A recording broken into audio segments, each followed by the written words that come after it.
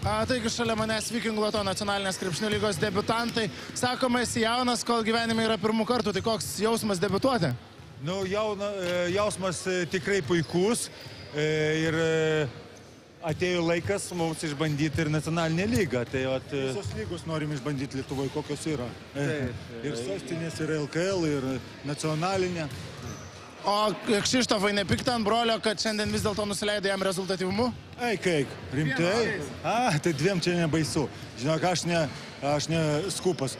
E, nu, bet šiaip e, žiauriai noriu padėkoti sirgaliams. e, Eilinį kartą įsitikinau, kad ne tik tai Kaunas e, krepšinio miestas, e, e, mūsų sostinė, bet ir šakiai irgi galima priskirti priskirt prie sostinės e, miesto krepšinio.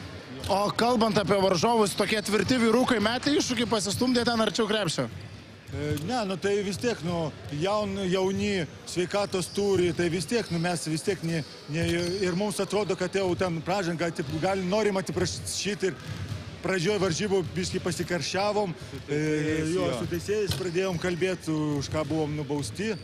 Dabar Chie- turėsi taupyklį, hebrai, biški kapustos Jo. E, Be jo norim e, nuoširdžiai atsiprašyti ir pažadam daugiau taip nepasikartosiu, ne, nepasikartosiu, o šiaip e, telšiai žaidė gerai, bet mes žiauriai gerai žaidėm šiandien. Tai tikslas turbūt viso sezono eisi pasipildyti dar savo trofėjų ko- kolekciją nacionalinės krepšinio lygos auksų. E, visų pirma, dabar tikslas yra mūsų susižaisti, e, pajaust kiekvieną žaidėją ir e, tobulėti iki playoffų.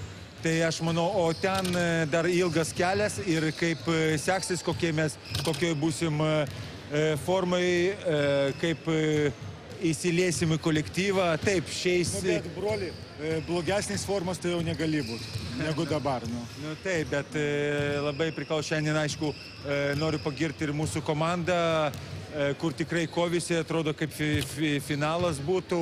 Aš manau, kad visų pirma čia nuopilnas sirgalių, kurie užsipildė pilną areną ir, ir pasikėja Buvo dėl ko, e, žaidėjai aukotis. atrado daugiau motivacijos.